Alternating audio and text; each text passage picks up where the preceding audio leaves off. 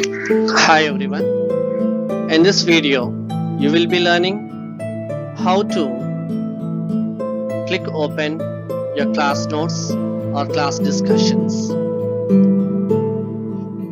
Once you are successfully logged in to Microsoft Teams, click on the Teams icon which you can find on the dashboard.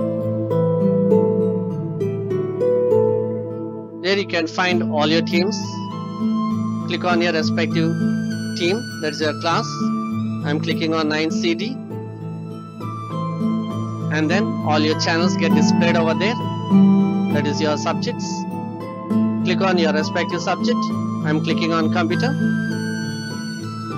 Then on the right pane, you can find posts, files, and notes.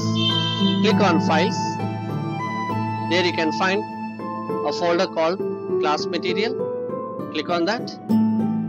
Then you can find all the class materials here. You can click on a, on a respective file name to view that class discussion.